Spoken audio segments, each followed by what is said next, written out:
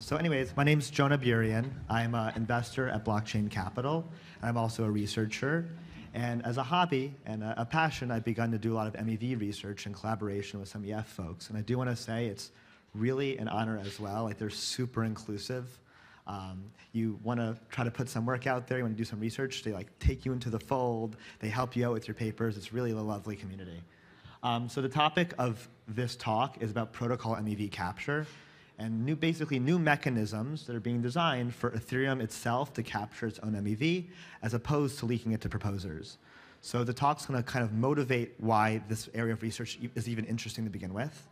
Go into, I guess, the two high-level solutions that have been proposed. Walk you through a couple of the trade-offs and specifically focus on centralization trade-offs. So that's going to be the topic of the talk. So what is MEV or where does it come from? Well, MEV is a pure function of having a monopoly on the execution payload. And what I mean by that is the execution payload is the object in Ethereum that basically you have the ordered list of state transitions, of transactions. And the ability to control that object and choose the ordering actually has more value. Um, there's more value associated with it, namely MEV. So one of the classic examples is a sandwich attack, where if you see there's, let's say, a 1,000 ETH buy, probably you want to put a transaction to buy ETH right before and sell ETH right after, right? That's a basic, the price is going to move, so I'm going to buy right before it and sell right after. But MEV is basically all these games that come with the ability to order and include. That is what MEV is. It, it's that value.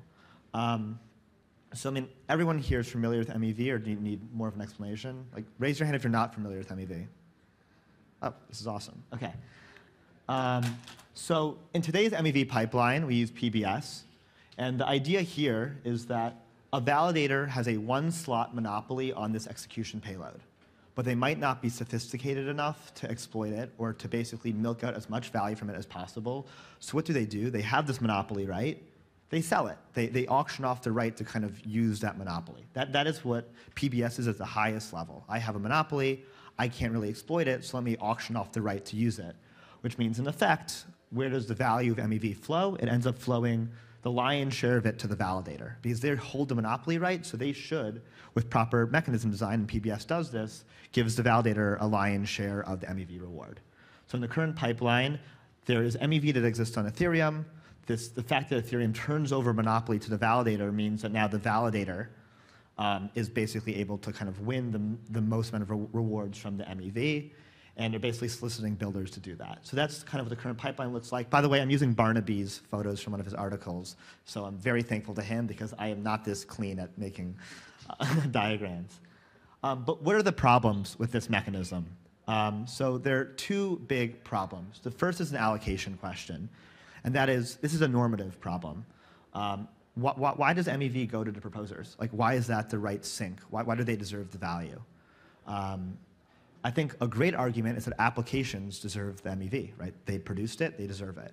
And a lot of applications are realizing this, which is why a lot of applications are being designed to be MEV aware. So you have protocols like Sorella that are doing this for Uniswap, right, to capture Uniswap MEV, and a lot of new lending protocols are kind of thinking about this. So applications are working on it. There, future applications won't leak as much MEV, but you'd be pretty hard pressed to find someone that says there will not be MEV in the future. Like there will always be residual MEV. And the question is, does that, should that go to the proposers? And the answer is, it's value the protocol generates. Probably it should go to protocol holders, namely Ethereum holders. And how do you do that? You have to capture the MEV and burn it, which in effect distributes MEV pro rata to Ethereum holders. So that's the allocation problem. Like MEV is probably not flowing to the right spot right now. Right? There's a principal agent problem, and the agent of the protocol is the proposer, and because they're an agent, they basically get to exploit this monopoly. The other problem is a centralization problem, and this is a very nuanced problem. And I want to talk about timing games briefly. So there's a really interesting work, um, Fahad and some others on it, um, but the basic idea is that the longer amount of time you have to exploit MEV, the more MEV you can exploit. And in fact, MEV the, is scales proportional to the amount of time to the power of 1.5. So monotonically increasing superlinearly, which means imagine you're a naive proposer, right? You have your execution payload, you send it out, great, you earn some MEV, amazing.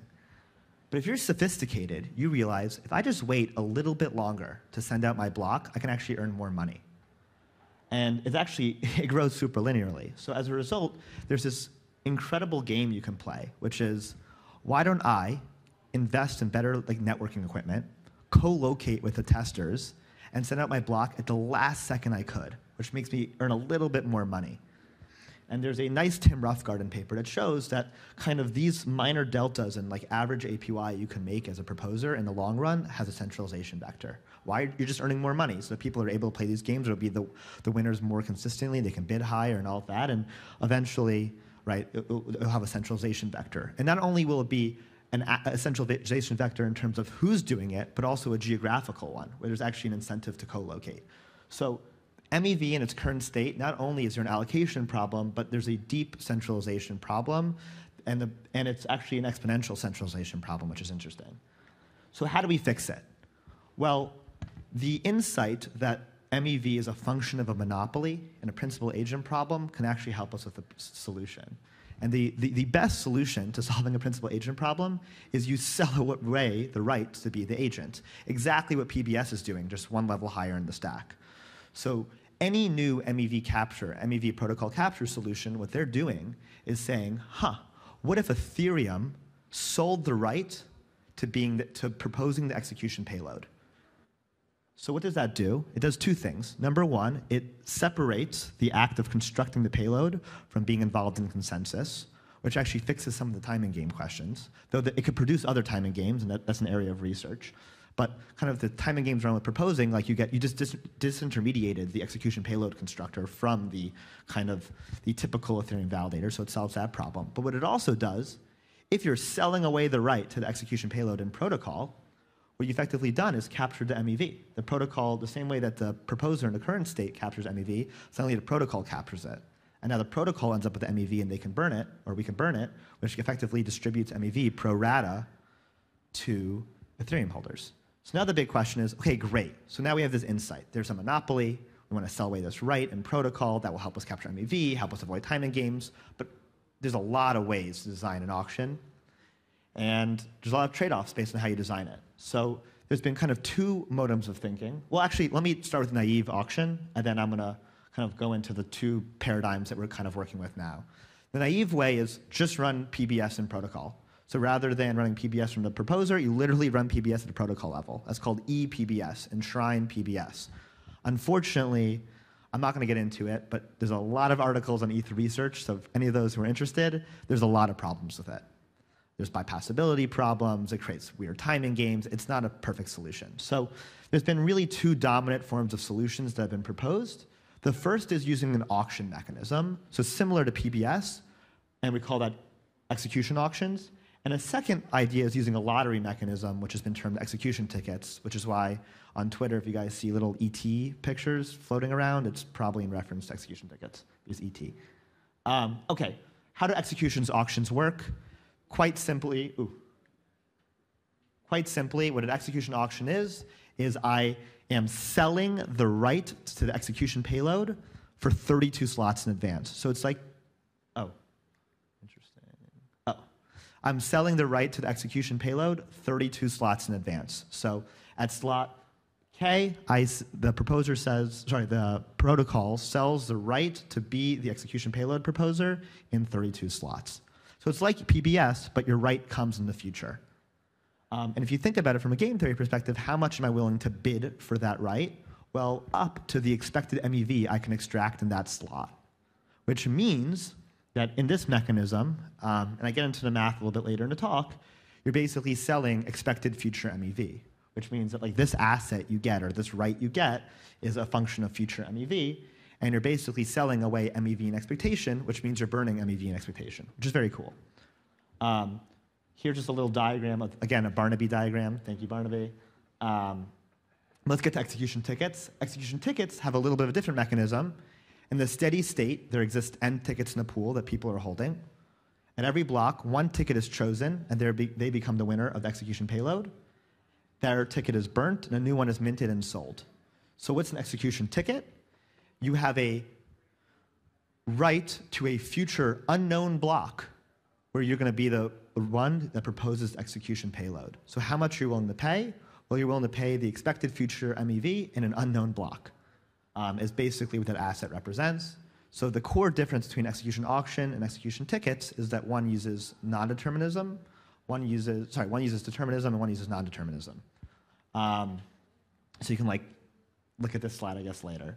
But I'm not going to bore you with the math, but if you just do some very, very basic math on this, um, you basically get some really clean results, which is both of these protocols, assuming a competitive environment, and this is a huge assumption, um, and this needs to be studied, but assuming a competitive environment should capture all MEV and expectation.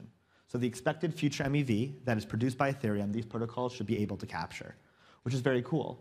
And on top of that, another really nice property is an execution ticket and the right in the execution auction about equals the value of the average MEV per block, which is a nice result as well. You basically are holding on to MEV futures, which is very neat.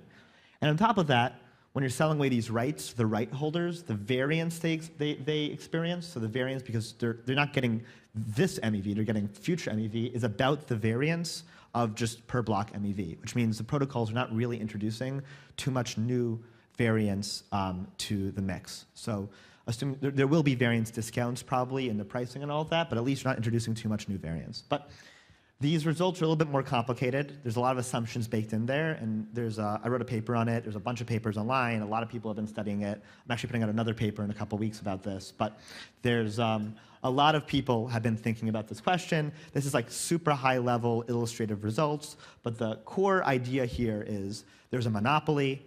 You could sell it away. There's two different mechanisms. And if you sell it away, Ethereum can actually capture its own MEV, burn it, which effectively gives MEV pro rata to um, uh, Ethereum holders. So we only have a minute and a half left, so we don't really have too much time to compare each, um, each of the protocols. What we can do is compare them along one line, and that is centralization. And what I want to talk about is multi-block control. And this is a very interesting question, which is in execution auctions, you have a really weird property, which is you can guarantee buy multiple slots in a row. I can guarantee myself being a proposer for two slots in a row. So I can buy slot n plus 32 and then slot n plus 33. And what happens then? Like, is that a bad thing, a good thing? Like, we don't really have that today. I mean, people might win two slots in a row in expectation. I mean, Lido wins two slots in a row every single day. But to deterministically get it, that's kind of strange. So to understand and unpack that, there's a whole literature, a new literature on multi-block MEV, which is the MEV associated with the control of multiple blocks in a row. We have 42 seconds left, so we're to speed run this. The TLDR is multi-block MEV provides you more MEV than the sum of the two blocks itself. So there actually exists more MEV from controlling multiple blocks. The intuition has to do with the superlinearity. Won't get into it. But basically, if you can make more money from controlling consecutive slots, if you happen to win slot 32, you're going to be able to bid more for slot 33, and as a result, more for slot 34. So there's actually an endogenous centralization vector in this protocol, which is a very strange thing. We don't exactly have this today. And there's a whole literature on inclusion lists, which basically try to mitigate this. There's a lot of open questions. We began riffing on it at the beginning, um, but inclusion lists end up becoming a core um, new primitive that needs to be there to solve the kind of this new centralization vector. So to sum it up, I know I'm at negative 12 seconds. We, I'm not going to get into these diagrams, but um, the high level, we want to capture MEV and distribute to Ethereum holders. The current state of MEV provides a lot of problems and probably net ends up with centralization. The new in-protocol designs are meant to mitigate this and capture MEV. There's a ton of open questions. ETH Research is full of fantastic articles by very smart people. Um, and I encourage all of you to read about it, write about it. It's really interesting, and you might get nerd sniped. So I, I, I will warn you in advance. The charts, you, I had to give some more context. Oh, I have two more minutes? Oh, damn. Okay. Well, we spoke about how in, um, in execution auctions, you guarantee yourself control of consecutive slots. Well, in execution tickets, you don't. These execution tickets, the non-determinism of them actually protect you from consecutive slots guaranteed. And the reason is like you don't know when you're going to win a slot. And there's a kind of a I made this little illustrative chart, but I guess oh, it's really hard to see on the screen. Um, but the idea here is let's pretend there's 100 tickets in the pool, okay? And you own 20 of them. So that's this little blue line over here, if you want to win um, two, uh, let's see, wait. If you want to win, sorry, I'm reading the chart wrong. If you own 90% of the tickets and you want to win 20 slots in a row, you have like less than a 2% chance of doing that. And this, this chart kind of shows you the, the percentage chance of like winning consecutive slots. And the answer, and like the, the intuition that this chart shows is even when you own a lion's share of the tickets, getting consistent consecutive control is very difficult. So the non-determinism of execution tickets actually protects a little bit from kind of native centralization vectors, which is an interesting result. So even though execution auctions are so pretty, right? They're so simple. You're just auctioning off something in 32 slots. They're like EPBS. It's great. They, they introduce this weird kind of endogenous centralization vector, whereas execution tickets, even though they're a little bit more complex and harder to wrap your head around, they actually, the non-determinism mitigates multi-block control in some sense, which is an interesting result because that's kind of what we see today, right? Like slots are handed out randomly, and as a result, we don't see people consistently exploiting multi-block MEV. Um, but there's a whole there's a whole other side to this story, um, where it actually in today's world people are, are self-limiting and purposely not exploiting multi-block MEV even when they have the option, which is an interesting um, phenomena. Um, but I think that's for a different talk. So, um, anyways, thank you guys for hosting me. Very wild to speak after Vitalik, I have to say. And um, I encourage all of you to read more in this literature.